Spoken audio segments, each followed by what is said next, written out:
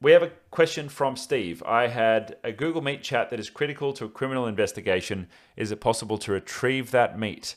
Uh, it was not recorded by me. It may be recorded by the other party. That's a good question, Steve. If you're using Google Meet and you've made any recordings of meetings, the recording goes into the person's Google Drive who initiated the meeting. So the organizer of the meeting is the person who gets the recording. However, other participants who have been invited to a meeting will also typically get a copy of that meeting recording as well. So if you have been to a meeting and that meeting was actually recorded, well, you can actually potentially go into your Google Calendar, find the meeting, and then inside the meeting actually access the recording. So I'm going to go into my Google Calendar here and I'm going to open up a meeting that I went to recently that I know was recorded. So Leah was the organizer inside our business. You can see here she's got the little organizer tag and then there's a few other people who attended and you can see here attached to the meeting is the recording. So if I click on that recording, it's going to open up in Google Drive and basically anybody who is a attendee of that meeting automatically going to get read only access to the recording. Now, obviously, if this is some kind of criminal or legal issue or something like that, uh, you know, it might be a bit hard to retrieve that, or the person might have removed the sharing from you.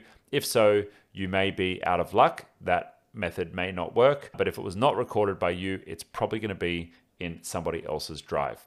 The other place you can check if you just want to look for it is to actually go into your Gmail and to search for Meet recordings um, because you actually get a notification each time a Google meeting is recorded. So if I search for Meet recording, that should show up all of the email notifications. Here we go. So Meet recording status. You can see here there's a, a nominated email address that they are all coming from.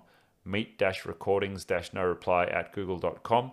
So you can probably just search for that email address inside your email, maybe see if you can find it there. Best of luck, and I hope you can find what you're looking for. Don't forget to like and subscribe if you enjoyed this content. And if you need more help with your Google Workspace account, there's four ways that we can help. Number one, join our free community group where others in the community help support each other with their Google Workspace accounts. And I'm in there from time to time answering questions as well. Number two, take advantage of our free transfer in offer to get a bunch of additional value for your Workspace account just for transferring your billing over to IT Genius.